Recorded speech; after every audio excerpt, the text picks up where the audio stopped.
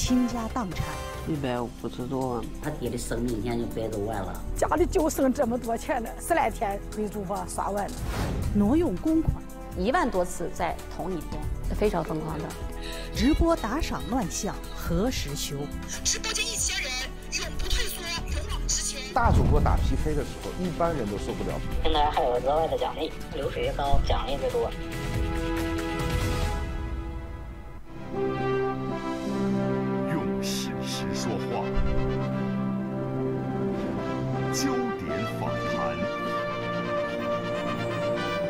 好，观众朋友，欢迎收看《焦点访谈》。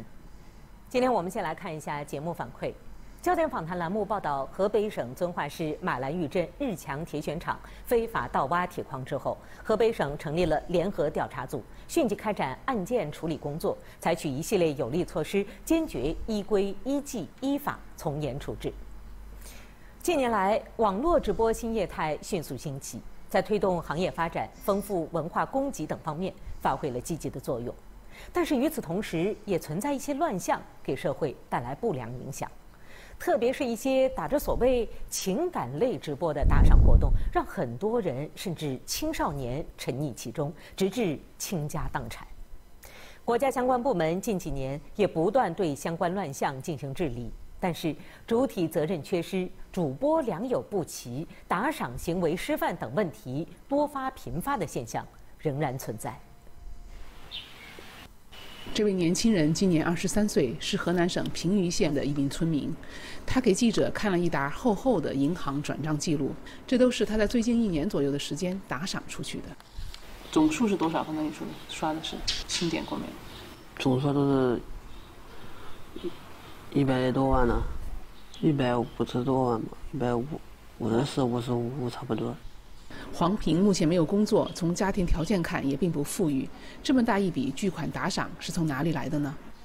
黄平的父亲两年前在工地打工，遭遇意外不幸去世，工地一次性支付了死亡赔偿金一百四十五万元。后来黄平的母亲也因病去世了。之后，黄平和他患有精神疾病的哥哥一起沉迷于网络直播打赏。等到今年三月家里人发现时，账户上只剩下四分钱。这一摊你看咋弄？我看着我都想掉泪，你知道不？他爹的生命现在就白走完了，你这孩子咋生活？目前，小黄兄弟俩已经在当地法院提起了诉讼。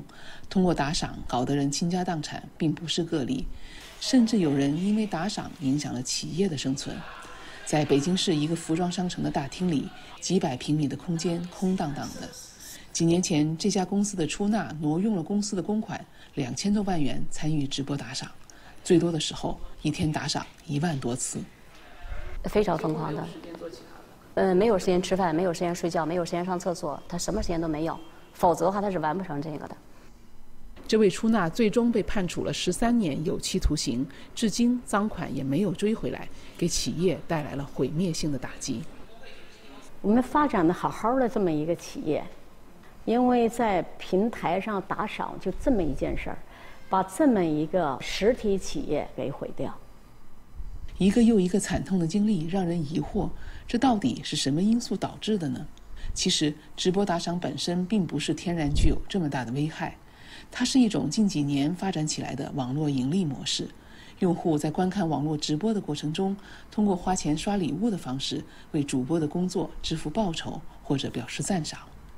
打赏有不同的类别，有一种呢属于付费观看，比如说我付费打赏了一定金额，那么主播可能会回答你一个问题，或者给你解讲一个故事、唱一首歌、跳一支舞，它属于这种附条件的赠与，或者是类似于购买服务。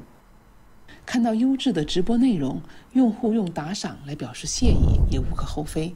那么小黄兄弟俩在直播时到底看了什么内容，让他们如此深陷其中，直至能把父亲的抚恤金一分不剩地打赏出去了呢？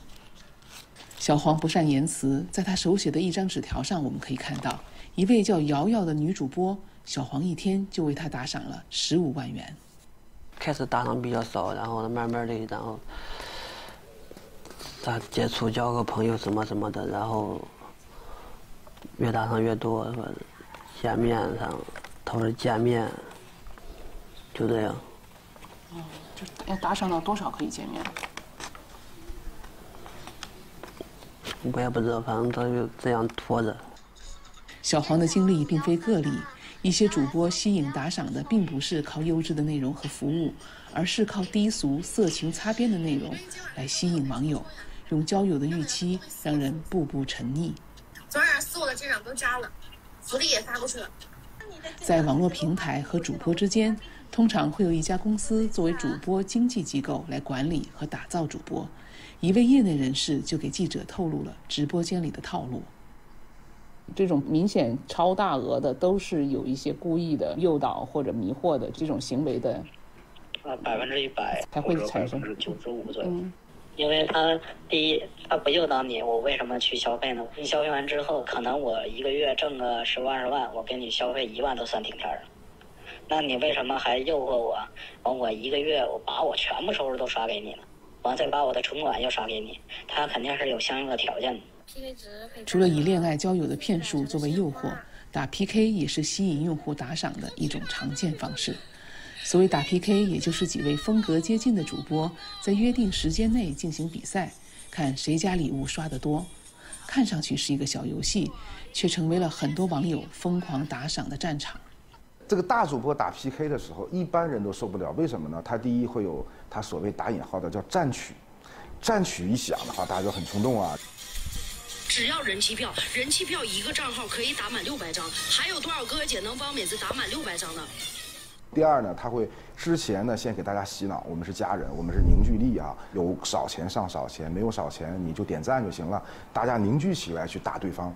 直播间一千人，永不退缩，勇往直前。数三二一，有打一个，能打一个打一个，能打一组打一组。所有铁粉。主播和平台一起营造了洗脑式、非理性的氛围，让人上头。本身很多人已经难以克制，而在 PK 时。一些直播间里往往都会出现一些大哥或者老板，他们豪气的打赏方式引得很多网友跟风效仿，争当榜一大哥。就是一般他们会说什么榜一大哥呀什么的，会有这种说法。对，你当过吗？你当过。像小黄这样在日常生活中不顺利、经济上也不富裕的网友，在这个过程中很容易得到心理上的满足。但是在争当榜一大哥的网友中，往往有一些是女主播所在的公司自己给自己的主播刷礼物，营造竞争气氛来引你入套。那个美人鱼是我榜一哥放的，八王爷大哥给我放的大金龙。有很多主播，他其实有一些老板都是他们公会的，然后你就非得跟他较个真儿，就跟他比一比，嗯，发现你虽然是你赢了。但是到最后越合计越不对，完刷的越来越多。感谢铁在这个直播间里，一名网友在主播的鼓励下，在近一个小时的时间里，几乎一刻不停地刷着礼物。在种种套路之下，疯狂的直播间就像吸血机一样，榨干年轻人的时间和金钱，给社会带来巨大的危害。二零二一年二月，国家网信办等七部委联合发布了关于加强网络直播规范管理工作的指导意见，指出网络直播打赏平台主体责任缺失、主播良莠不齐、打赏行为失范等问题多发频发，要求各平台切实规范直播秩序，坚决遏制不良倾向、行业乱象。二零二二年五月。中央文明办等四部委又联合出台了关于规范网络直播打赏、加强未成年人保护的意见，提出要禁止未成年人参与直播打赏。可是，无论是一些平台的主体责任，还是主播的行为，仍然存在问题。这有啥？有啥？深夜的直播间里，一些女主播穿着暴露，语言暧昧。有的直接许诺刷够多少礼物就可以私聊，并且可以发送神秘福利。河南卫辉市这个十五岁的少年手机里就收到过这样的福利。前不久，他在偷偷看直播时，女主播和他聊天后加了他微信，给他发去了一些半裸露的照片，并承诺完成了任务下播给你看。涉世未深的小张沉迷其中，将母亲银行卡里的六万多元逐步都在直播间里刷了出去，把我气的啊，我都没法说，把我气的，叫我脸麻木的，好苦的。我这三年前在宁在浙江打工，出了点工伤，人家包我十几万块钱，他一就十来天，他给主播刷完了。小张的母亲因公致残，他的父亲近期又中风瘫痪在床，家中存款全部被小张打赏后，一家人陷入了困境。当时我们的心情非常迫切，因为这种情况，它是一个不稳定的社会因素呀，社会矛盾呀。现在我们都在排查这个矛盾纠纷化解呢，这就是一个典型的这个这个矛盾。在警方的帮助下，小张的母亲找平台要回了这笔钱。按照相关部门的要求，网络平台早就应该禁止未成年人参与直播打赏。可是，一些未成年人要上网观看直播打赏，并不是难事。其实你用的是你母亲的号。那个未成年门儿是，你不开它，走正常门儿。就是当时你是什么时候去绑定这个卡的？弄到刷礼物呢。就刷礼物的时候，你是找你妈妈刷了脸。嗯。看来要真正杜绝未成年人参与直播打赏，除了提高家长的监管意识和能力以外，归根到底还是要从网络直播的乱象治起。从法律上来讲，专家认为，按照我国民法典的要求，像打赏这样的民事行为，也应该遵守公序良俗的约束，平台应该承担相应责任。因为平台在这里面更多的是一个居间服务。它提供的是网络相关的服务，所以它有相关的分成的权利，就一定有相互配合的义务。那比如说这个钱不符合我们的道德观念，或者是公共利益，平台也应当有一个准备金的，是要有一个赔付责任的。根据行业管理的要求，二零二一年我国关于加强网络直播规范管理工作的指导意见中就提出，网络直播平台建立健全直播账号分类分级规范管理制度。要针对不同类别级别的网络主播账号，在单场受赏总额、直播热度等方面合理设限；要对单个虚拟消费品单次打赏额度合理设置上限，必要时设置打赏冷静期和延时到账期。时隔两年多的时间，这些要求一些平台并没有落实。平台有没有给你提醒过？就说你转的频率比较高，或者是呃总额超额什么的？没有。从来没有收到过这种没有提示。记者通过查询发现，有少数网络平台在用户进入直播间时会提供这样一个选项：用户可以自己限定打赏额度，设定之后，等到打够额度时会收到相应的提醒。不过，这和指导意见所要求的建立单场受赏总额、单次打赏额度合理设置上限、必要时建立打赏冷静期等，并不是一回事。国家那规定里头还说了，必要时设置打赏冷静期和延时到账期。您听说过这个规定吗？这些平台里头都没，影响客户消费，影响他们的流水。因为您影响他的流水，他就是他有一些是上市公司，影响他们股票，影响他们股东的分成。嗯，所以他们尽可能百分之百不会设置这些东西。主播得到的打赏，平台和经纪机构都会参与分成。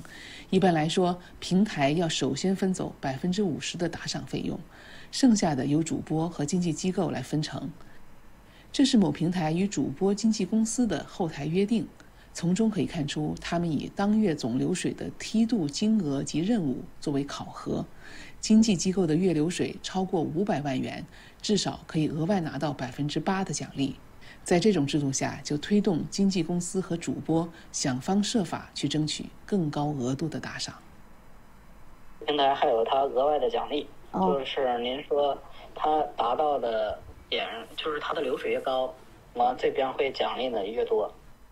说一千道一万，根本还是利益的驱使，导致指导意见难以落实，行业乱象屡禁不止。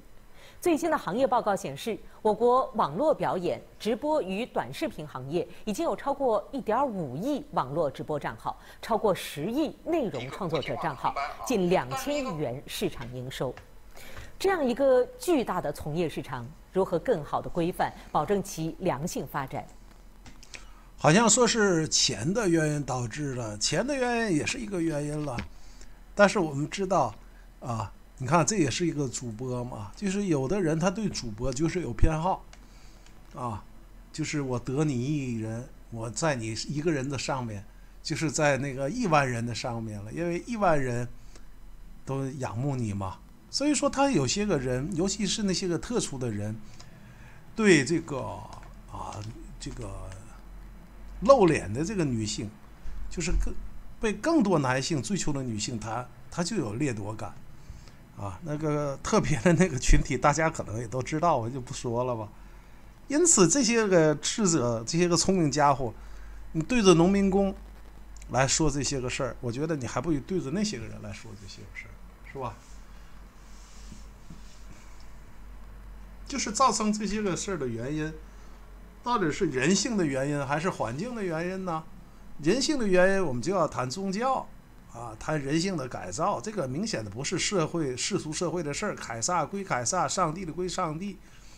你又不是 IS 国，啊，你又不是这个，呃，这个呃塔利班国，你对人性你有什么办法啊？